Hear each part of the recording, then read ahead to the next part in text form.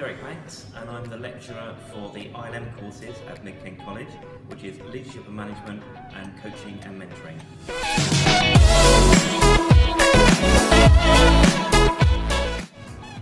The beauty of working with the ILM is that the, the way that you pass the qualification is through doing projects and through writing assignments.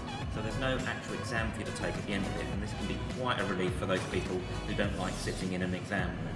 Um, the benefit of doing the assignments and the, projects is that to pass the qualification you need to demonstrate that you've understood the theories and you've applied them in practice. And this is again another benefit for you as an individual but also a benefit for your employer because inevitably improvement projects kind of spring from the coursework that we'll be doing um, and that should have a positive impact back at, back at work.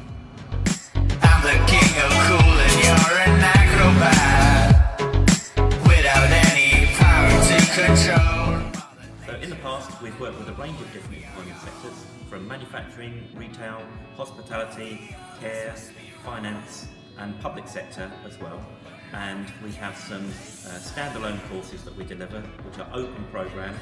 So um, delegates can come from a range of different companies to join and network and learn together.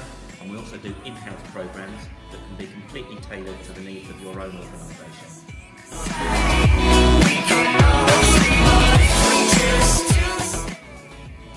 The common thread that runs through the leadership and management courses are things like emotional intelligence, leadership, um, management change, uh, how we communicate as leaders, setting direction and vision, uh, managing performance, motivating, and dealing with difficult people.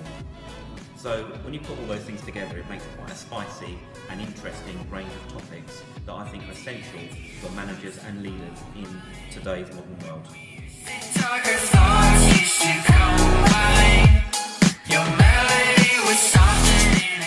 The other thing I can talk about is that the learning environment that we create when we're delivering these courses is always meant to be fun and dynamic and engaging and provocative. I find that's the best way for people to learn.